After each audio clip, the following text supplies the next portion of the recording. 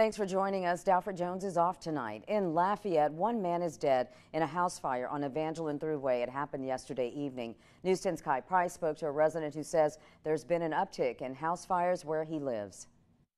This abandoned home behind me was up in flames just short of 24 hours ago, with one body believed to be a homeless man found underneath the rubble. I spoke to a resident who says he came home around the same time the fire started, and he says he was terrified. According to the Lafayette Fire Department, witnesses called in the fire after noticing heavy smoke coming from the structure yesterday just after 4 p.m. Two firefighters sustained minor injuries on the scene.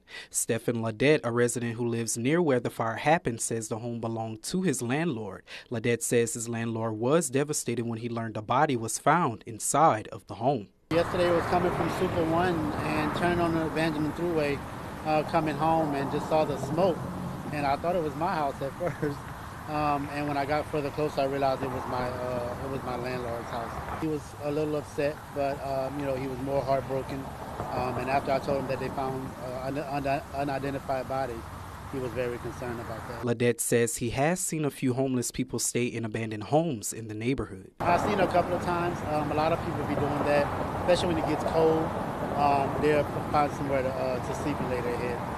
Ladette says the city of Lafayette needs more resources for people who are homeless. They do, but I don't think they do enough.